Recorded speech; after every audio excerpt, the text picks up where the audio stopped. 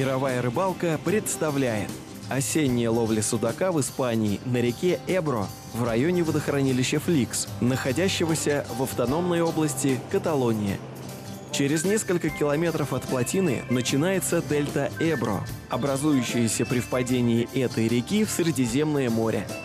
Мы остановились чуть выше этой границы, так как планируем вместе с Клодом Валетом ловить хищника на пресноводном водоеме, для чего испускаем на воду катер недалеко от местной атомной электростанции. Наш эксперт отлично ориентируется на этой акватории, и зная все мели и фарватер, он уверенно ведет нас к первой уловистой точке. Сегодня нам предстоит обследовать несколько перспективных участков, чтобы составить полную картину потенциально интересных мест для ловли судака в этой части легендарной реки Эбро. Сегодня мы исследуем новые места на реке Эбро, которые расположены перед плотиной. Здесь вода в реке прозрачная во многом из-за сильного течения. Рыба в основном концентрируется в одном месте, а не расходится по всему водоему, как, например, на озерах, где стоячая вода. Мы попробуем ловить здесь и посмотрим, что у нас получится. На сильном течении следует сразу искать судака, и я именно так и начну. Потому что окунь в данном случае не будет являться для нас проблемой. Здесь, конечно же, есть окунь, но он никак не влияет на активность судака. И если судак активен, то мы точно сможем его поймать. Я практически всегда начинаю ловлю с силиконовой оснастки. У меня есть различные расцветки и модификации. Это очень простая и эффективная приманка.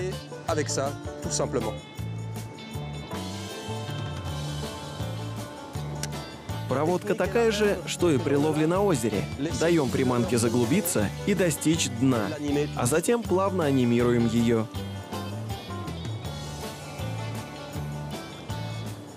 На реке, там, где есть течение, рыба атакует свою жертву очень быстро.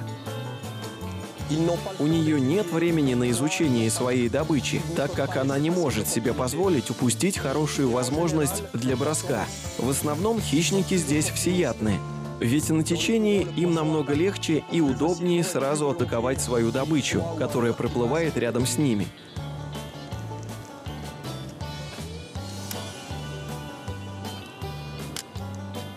Sur cette partie de la rivière, на этом участке реки мы будем ловить те же самые виды рыб, что и на озере Микиненза. До Средиземного моря здесь совсем недалеко, не более 80 километров. А видовой состав рыб точно такой же, что и на любом из трех водохранилищ в районе Микинензы. Это прежде всего сом, судак, окунь, очень много головля. Этот белый хищник – настоящий спортсмен, и ловить его очень интересно.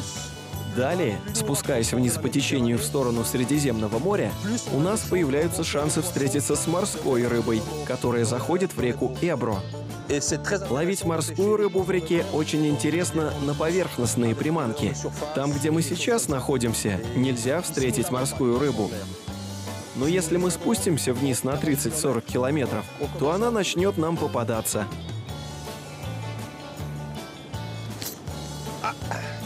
Смотрите, сом. Вы видели сама на поверхности воды? Только что промелькнул его хвост над водой. Вот он. Он все еще здесь. Я думаю, что он поднимался для атаки. Только что Сом на этом месте охотился за добычей, выворачивая своим хвостом на поверхности. И эта особь была в длину примерно полтора метра. И если бы он клюнул на нашу судаковую снасть, мы бы вряд ли его достали. У нас были бы точно большие проблемы при вываживании. На этой дикой реке очень много препятствий. К тому же в это время года течение приносит с верховьев много травы. Трава цепляется за донные преграды и оседает. И это создает для нас дополнительную проблему – вот, как вы видите, очень много травы оседает на дне. Нужно быть внимательным и постоянно убирать траву с нашей приманки.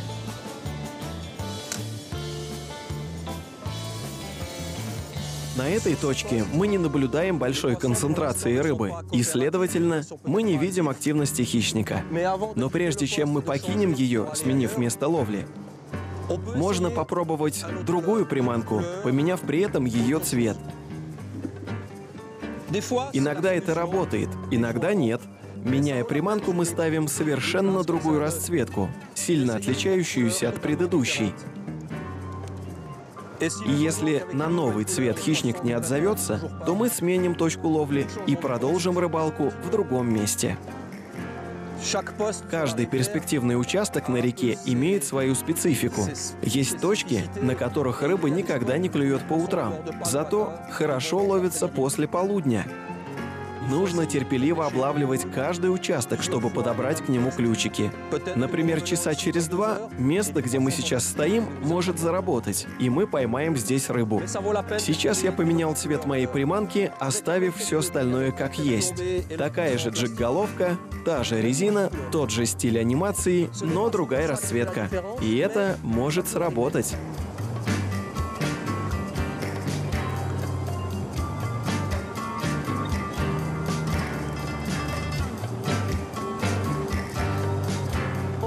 Еще может повлиять на клев и увеличить активность рыбы? Это солнце. Сегодня облачная и немного пасмурная погода. Атмосферное давление значительно понизилось. И это не очень хорошо сказывается на поведении рыбы. Но в этом водоеме живет достаточно большая популяция рыбы. И несмотря на все капризы погоды, мы обязательно поймаем свои трофеи. Но не факт, что это произойдет именно здесь. Очень важно регулярно менять места ловли. Если вы видите, что в течение 10 минут на этой точке нет ни одной поклевки, то нам следует переместиться дальше, так как здесь много и других интересных участков, и вам не нужно тратить свое время, облавливая места, где рыба ведет себя пассивно. Всегда можно найти точку, где будут поклевки. Сейчас вы видите, что достаточно продолжительное время рыба ни разу не клюнула. Следовательно, нам лучше сменить это место, что мы сейчас и сделаем. Мы дадим этой точке отдохнуть, а сами поднимемся вверх по течению, чтобы обловить другие интересные места на этой реке. И возможно, что там нам повезет, и рыба будет к нам более благосклонна, чем сейчас.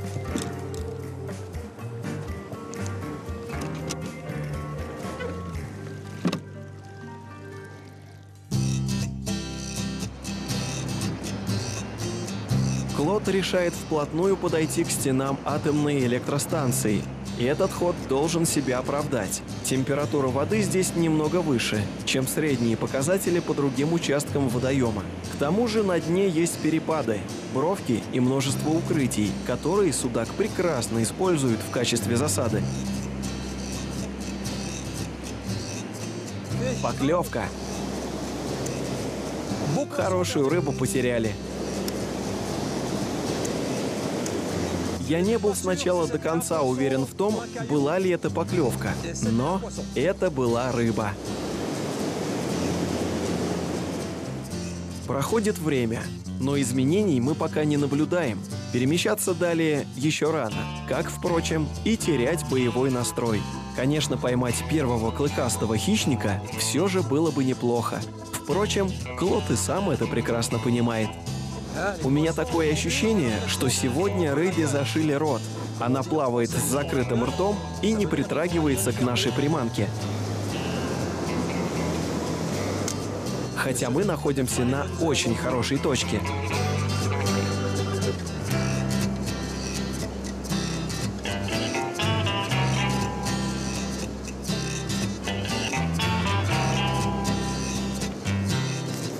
Поклевка. Снова сход. Отличная поклевка. Хорошая рыба.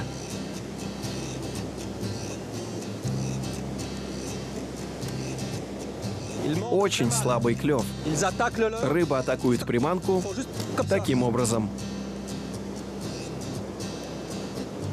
Клод снова решается на эксперимент с цветом, надеясь переломить ситуацию с клевом в свою пользу. Рыба! Теперь точно на крючке.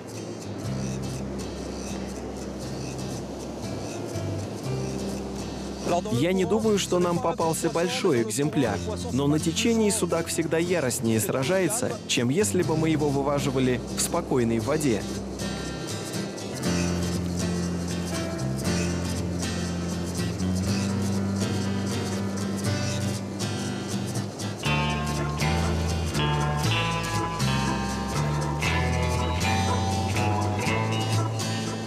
Et voilà. Вот. Наш первый судачок. Спасибо тебе.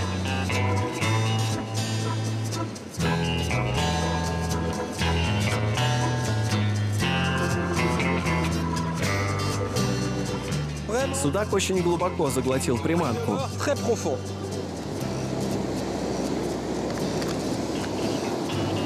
Voilà. Nous allons enlever ça comme ça. Voilà. Маленький симпатичный судачок. Теперь надо постараться поймать его маму.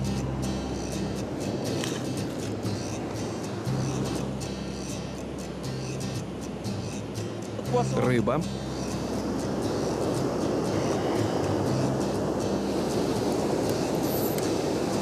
Это не совсем то, что мы ожидали. По размеру он ничем не отличается от предыдущего.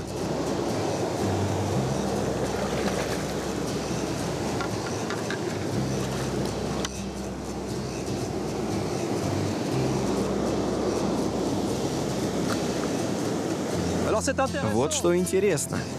Еще один небольшой судачок. Обратите внимание, что как только мы поменяли расцветку у приманки, мы тут же поймали двух судаков. За три заброса.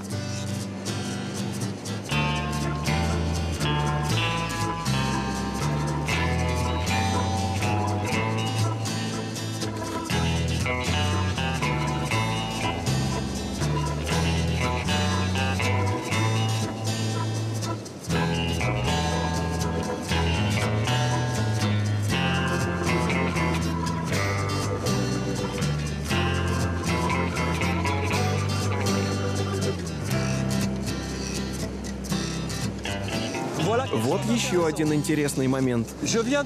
У меня было ощущение, что рыба атаковала приманку.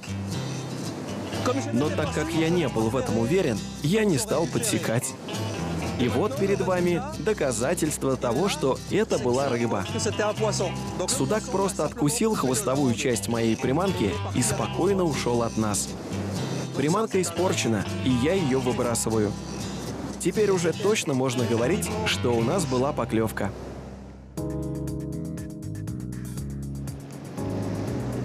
К уловистой точке возле атомной станции мы еще вернемся через некоторое время. А пока, немного спустившись по течению, мы открываем удивительно красивые места, лежащие на русле этой великой испанской реки. Эбро прекрасна в своем первозданном виде, особенно в таких заповедных уголках, куда привез нас Клод Валет.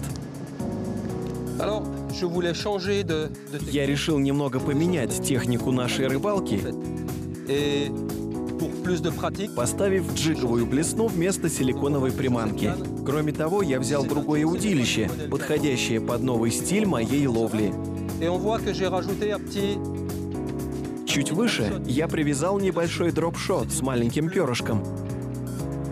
Его функция приманивать хищника. И на нем тоже есть крючок. Так что если рыба его атакует, он засечет ее. Давайте попробуем.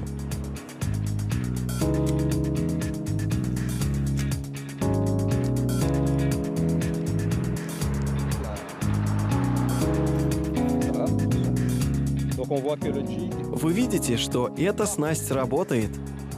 И мы поймали на нее судачка, который будет покрупнее предыдущих. Сейчас я вам покажу что-то очень интересное, чем отличается эта рыба. Я надеюсь, я хотел сказать, что надеюсь, что он не сойдет с крючка. Я хотел вам показать рыбу с отметинами от зубов на спине, которые оставил другой крупный судак. Следы от зубов очень широкие. Пойманный мной судачок был весь покрыт шрамами. Большой судак пытался его съесть. К сожалению, мы потеряли его прямо у самой лодки. Возможно, нам попадется еще один подобный экземпляр.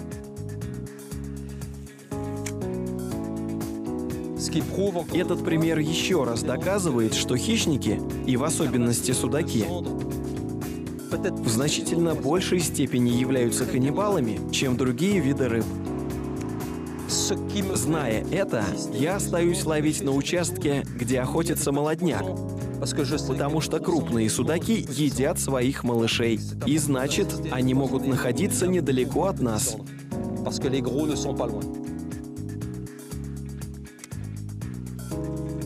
Маленькие судачки охотятся за уклейкой и плотвой. Крупные судаки также атакуют уклейку, но при этом не брезгуют и своими маленькими сородичами.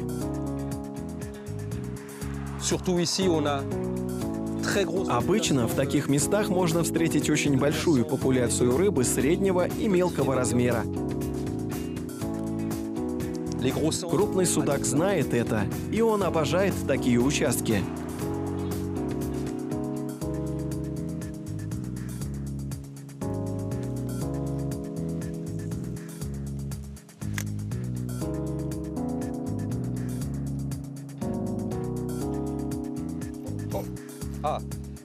Я забросил приманку ниже по течению, и там ее схватил этот мелкий судачок.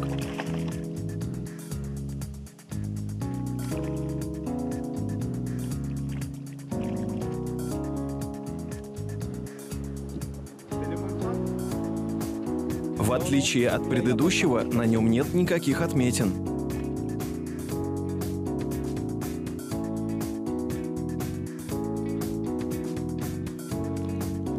Мне кажется, что под нами находится очень большая стая окуней. Следует атака.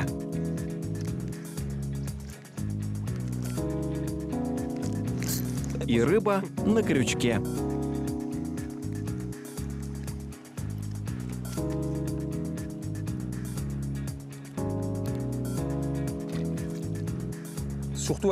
Сейчас температура воды около 22 градусов. Рыба.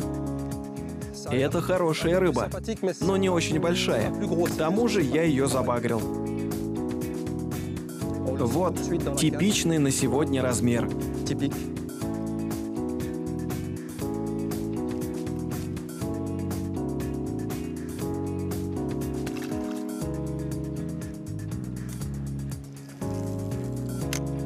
Рыба, заинтересовавшись приманкой, подходит к ней вплотную. Затем она пытается схватить приманку, и в этот момент мы ее подсекаем. И она не всегда зацепляется ртом. Вы видите, что поклевки становятся реже. Мелкие особи успокаиваются. Только я это сказал, как вновь произошла поклевка. Успокаиваются, но есть и те, что все еще атакуют. Что произошло?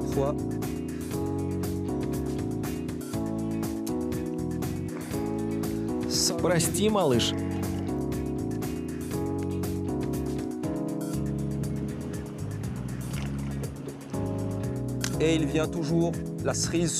Настоящей вишенкой на торте станет поимка главного Джокера этого места, по-настоящему крупного окуня.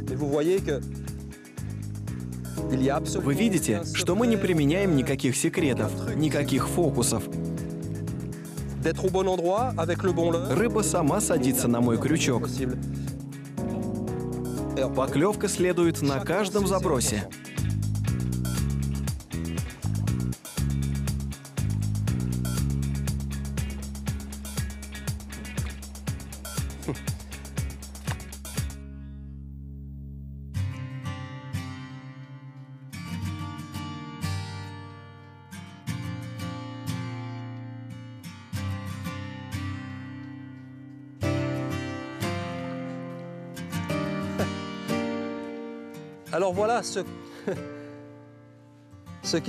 Нам снова не везет.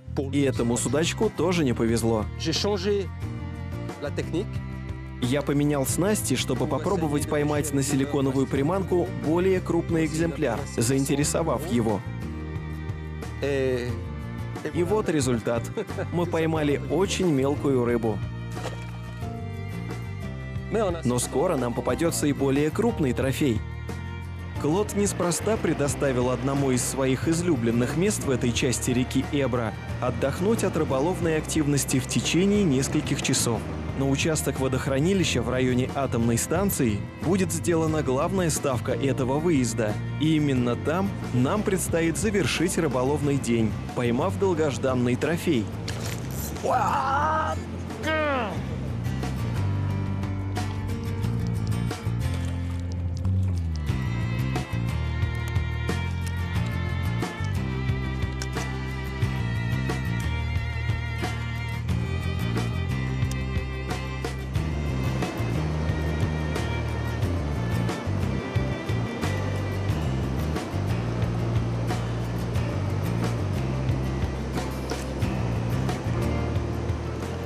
Отличный окунь на крючке. Он атаковал силиконовую приманку. Невероятно. Он схватил наживку, когда я выматывал ее из воды, в то время, когда приманка очень быстро двигалась. Отличный окунь. Мы заканчиваем этот день поимкой по-настоящему трофейного экземпляра. Успокойся, малыш. Allez, allez, allez, allez. Он очень нервничает.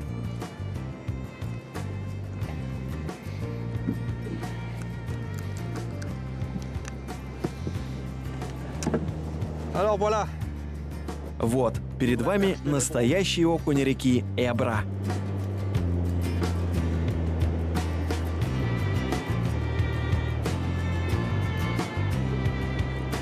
Вы видите, что в Эбра водятся не только мелкие окуни, которых мы ловили весь сегодняшний день. Перед вами великолепный трофей. Такого размера окуни также встречаются среди своих мелких собратьев, как я вам говорил об этом ранее. И вот нам наконец-то удалось его поймать. Возможно, мы еще поймаем здесь такого размера окуней. Через несколько секунд мы продолжим.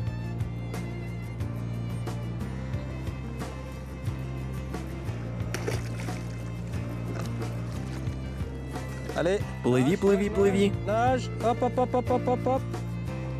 Voilà. Ok.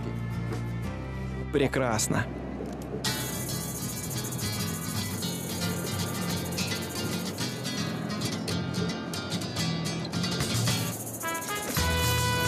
Yes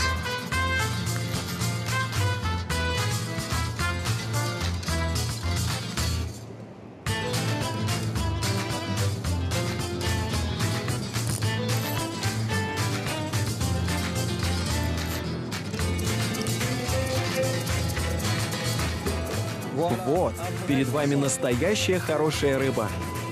У меня были две звонкие поклевки на этом участке, и вторая оказалась результативной.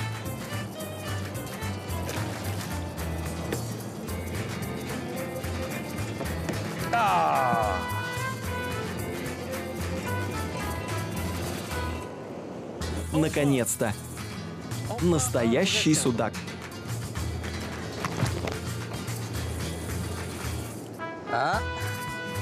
Он очень взволнован.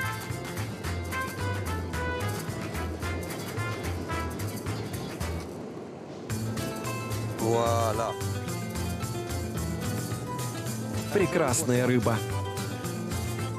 У Клода Валета от усталости уже сводят мышцы на руках, но он счастлив от того, что смог поймать столь желанный для нас трофей – судака реки Эбро. Отпускаем его обратно, а сами готовимся к подведению итогов. Рыбалка в окрестностях водохранилища Фликс удалась нам на славу.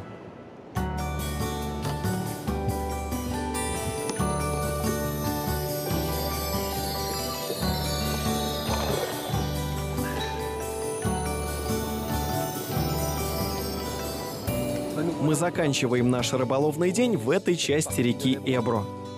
Мы неплохо закрылись сегодня по рыбе, хотя большинство пойманных экземпляров были небольшого размера. В процессе ловли мы смогли поменять технику и нашли способ, благодаря которому мы взяли хороший трофей, поймав его на силиконовую приманку. Нам посчастливилось взять несколько отличных экземпляров. Хорошо разведав эти места, мы провели здесь прекрасный день, ловя крупную и мелкую рыбу. К тому же нам не очень повезло с погодой. Сегодня нам явно не хватало немного солнечного тепла и света для того, чтобы рыба была более активна в дневное время. Но все равно все прошло неплохо. Нам еще предстоит сюда вернуться, чтобы поймать таких представителей местной ихтиофауны, как галавль или блэкбасс. Но это мы сделаем уже в следующий раз. Vaya ribalca.